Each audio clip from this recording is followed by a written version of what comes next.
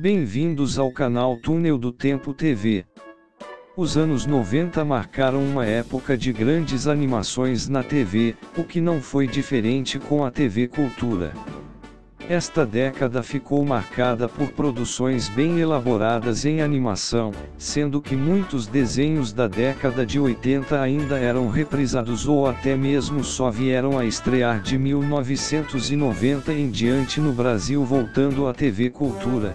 Dentre as grandes atrações infantis desta época que marcou seu auge em programação infantil, estava um desenho aparentemente simples, porém que prende a nossa atenção todas as tardes, deixando saudades.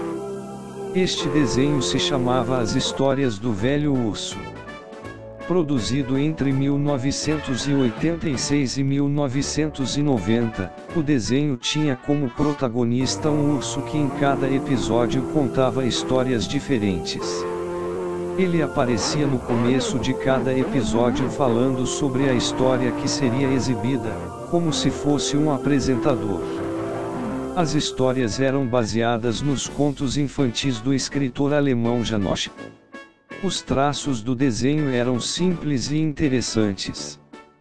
Teve um total de 26 episódios, divididos em duas temporadas.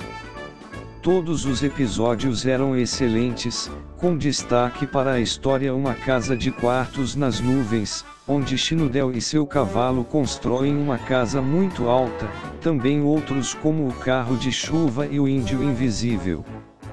Ainda é possível encontrar alguns episódios na internet, porém seria muito bom ver este desenho de volta à TV de forma completa. Se você lembra deste desenho, ou algum outro que gostaria que fizéssemos uma matéria, deixe nos comentários. Inscreva-se no canal e ative as notificações. Obrigado, e até a próxima.